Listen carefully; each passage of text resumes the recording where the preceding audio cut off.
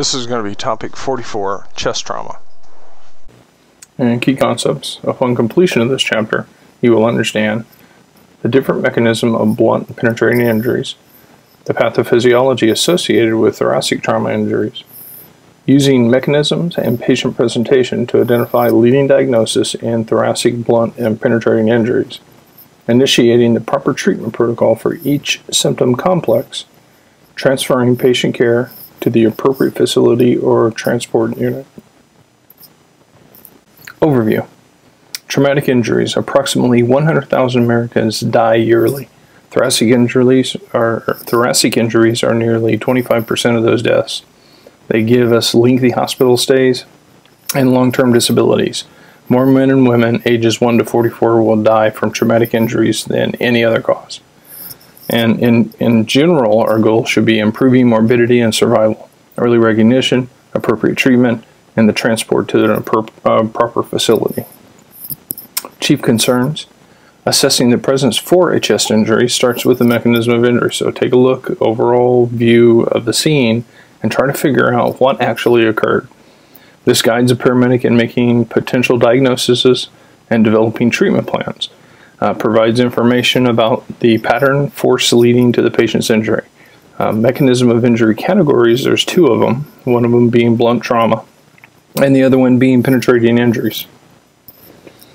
Mechanism of injury blunt trauma due to the transmission of energy rather than uh, transmission, from, transmission from an object uh, usually the result of a motor vehicle accident, a fall, or an assault. So, whenever we talk about blunt trauma, the energy off of the speed that they're going, kinetic energy equals mass times velocity squared, is delivered into the patient. Uh, specific traumatic thoracic injuries are things like rib fractures. Ribs 4 through 9 are the most commonly fractured from blunt force because of their exposed location um, multiple rib fractures leading to separation of one segment of the chest is known as a flail chest segment. Pulmonary injuries, they occur both after blunt and penetrating injuries. Um, examples of these are going to be uh, open pneumothorax, which would be an open hole to the thoracic cage, which will collapse a lung. Uh, simple pneumothorax, collection of air between the lung and the chest wall and then a tension pneumothorax. And whenever we talk about tension pneumothoraxes, air enters the lung, escapes into the pleural space through the damaged section, and compresses the heart, lungs, and great vessels, which will rob from your cardiac output. A pulmonary contusion, uh, injury of the lung itself, most common injury seen in blunt thoracic trauma. And then we can also have things like vascular injuries, damage to the heart and great vessels in the thorax, traumatic aortic disruptions. Now, we have a leftover ligament or a leftover piece of tissue, and it turns into a ligament that are remnants of the fetal circulation, and this is called the ligamentum arteriosum. Now, what this essentially does here, say you have the heart, and this is the aorta a little smaller than I was wanting And this ligament attaches like so. Now, great force travel, shear force to where we're moving forward and then back, we can pluck a hole in this, which generally causes the patient to bleed out. Cardiac injuries, uh, damage to the heart, myocardial contusions, which are bruising of the heart muscle, can lead to a period of abnormal heart contractions, PVCs, VTAC, VFib, um, myocardial rupture. Heart ruptures after rapid deceleration, and it may be displaced um, rapidly into the sternum and the spine. So essentially, by compression or by movement forward and sudden stop, the heart gets compressed between there and the ventricles can actually rupture. Uh, a special case also of commotio cordis. Um, what this does is it hits the heart, injures it, um, applies probably some bruising to the heart tissue itself.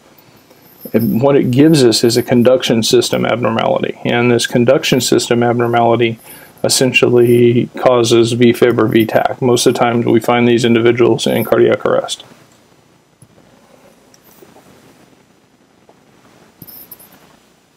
Uh, blunt trauma continued.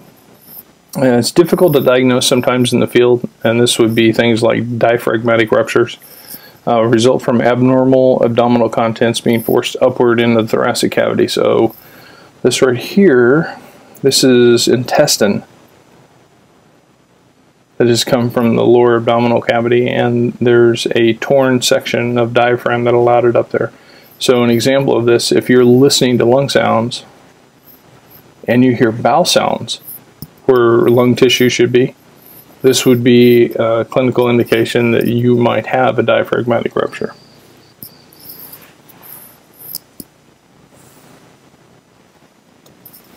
Uh, mechanism of injury penetrating trauma, typically created by a projectile from a firearm, shrapnel from a bomb, or stabbing injury. These include several things uh, penetrating injuries of the pulmonary and cardiovascular, uh, the pulmonary system, if it is penetrated, uh, may damage the trachea, bronchi, or tracheobronchi disruption, which then no air gets to the alveolar sac.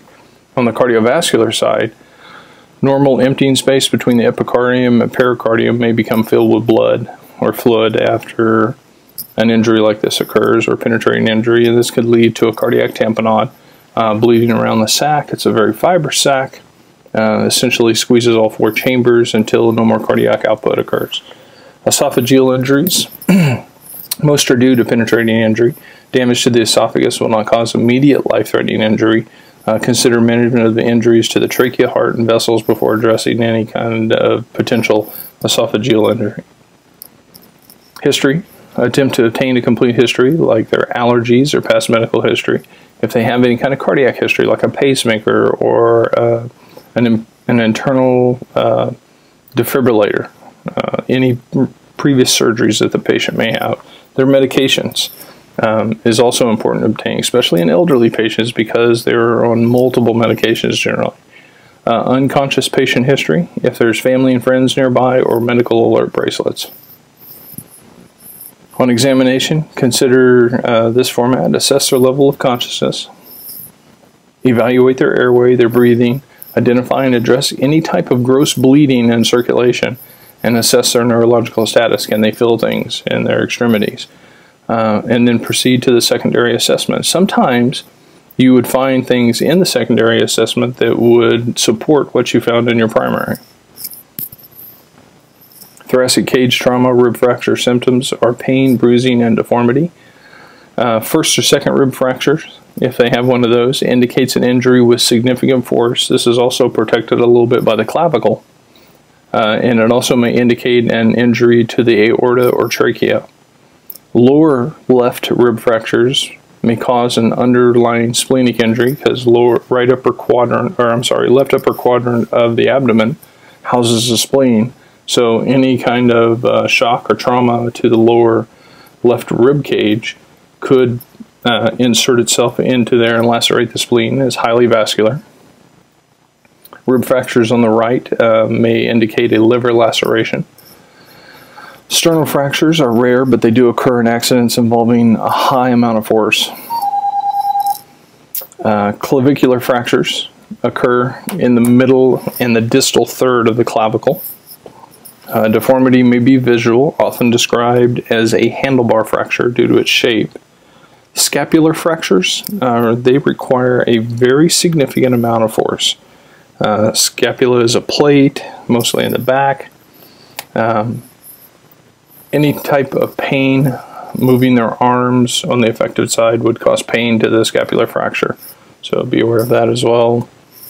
Uh, cardiopulmonary trauma continued. Tension pneumothorax. Uh, variety of signs and symptoms, difficulty breathing, diminished or absent breath sounds of the affected side, um, pulmonary contusion, uh, lead to impaired oxygen gas exchange because the tissue is bruised, the alveolar sac can't transfer gases appropriately.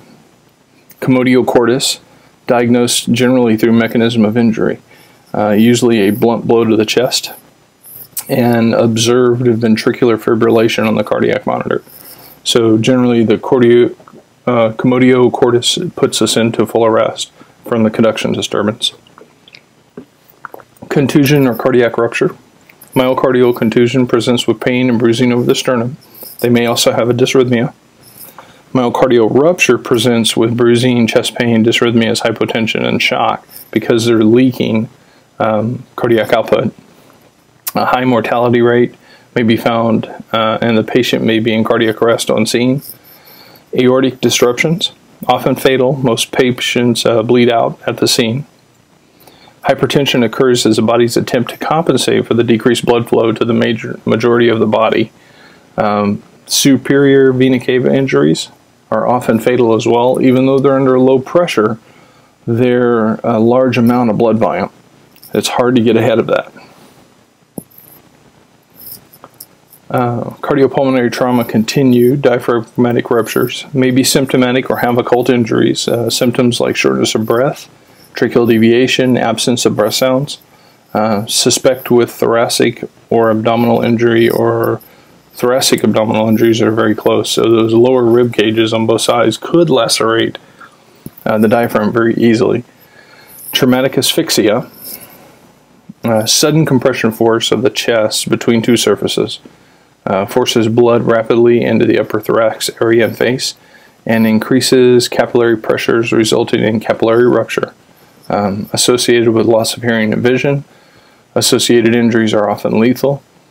Uh, should be suspected. Um, and in other words, on this, uh, a lot of force just got administered to the chest cavity. So, uh, an example of this, let's say that the patient with all of their great vessels in their heart got squeezed from both directions from moving this direction and say hitting the steering wheel and the chair broke and all of a sudden they got squished so all of the blood that was in this chest cavity immediately tries to go backwards through the heart no cardiac output occurs during this crushing episode um, most of the time, the capillaries that are in those areas have too much pressure in them and they'll rupture. So you'll have little hemorrhages all over. Their eyes are probably bulging. They may have JVD and very young, not having any type of cardiac history. So, very simply, consider that they might have traumatic asphyxia. Try to correct this by removing pressure and see if there's anything that you can get ahead of as far as physiology wise in the chest cavity. Assessment. Considerations. Identify the mechanism of injury. Form a list of field diagnoses and then compare the diagnoses to your exam findings. We are either going to eliminate or suspect something off of evidence that the patient is giving us. Shock assessment. Most common cause is blood loss secondary to hemorrhage. Exclude all hemorrhagic causes consider cardiogenic cause because the heart is unable to pump either uh, blood from or from the injury that had just occurred or a possible cardiac tamponade. Uh, PEA is what it generally will give us at the point that we go into traumatic chest or thoracic cage injury with closing pulse pressures would be a sign and symptom of the um, cardiac tamponade tracheal deviation, which is a later sign for a tension pneumothorax. But however, both of these are will cause PEA to where it looks great on the monitor, but it doesn't really have a cardiac output. As far as treatment considerations, check the level of consciousness, ensure a patent airway, consider intubation. Um, patient that is protecting their own airway, administer them oxygen. The patient that is not protecting their airway, provide basic life support. On flail chest segments. A flail chest segment can markedly impact uh, breathing mechanics. Small flail segments, patient may not be able to breathe deeply due to pain. Consider analgesia. A large flail segment um, will impact breathing. Consider possible positive pressure ventilation to assist the patient. On evaluation, repeat the assessment, the initial and the secondary assessment, and reevaluate the stability after your interventions. See if it's trending towards the good or bad. Cover open uh, pneumothoraxes with a dressing, and this would be on three sides. Uh, may lead to a tension pneumothorax. Uh, check lung signs, vital signs, and tracheal deviation frequently if we've closed up an open pneumothorax. On the tension pneumothorax, apply an occlusive dressing, secure on three sides, the four sides allows for the air to escape. unresolved or closed pneumothoraxes, perform a needle decompression. Insert the needle into the pleural space, uh, relieves built up pressure that's in there. You may have to do this more than once. It is done at the second or third intercostal space, mid clavicular line. You may also use the mid axillary line. However, you have to be sure that your site is correct. If you get it a little lower on exhalation, the liver may come up and you actually hit the liver. So be aware of that from the mid-axillary line, which is the fourth or fifth intercostal space, mid-axillary line. Be sure that your um, anatomical locations are correct. Disposition, patient transport, depends on uh, incident and facility location. Patients with conditions described should go to a trauma center. Uh, patients in cardiac arrest should probably go to the nearest facility for stabilization. Transport as quickly as possible and follow local protocol. In conclusion, patients with thoracic trauma present with complex injuries uh, will be encountered by every paramedic. Paramedics must understand the mechanism of injury, kinetomatics, and the pathophysiology that they're seeing. If you have any questions concerning this topic, feel free to contact me. My name is Roy Smith, Smith Art Samaritan EMS OK.com or 405 492 8243. Thank you.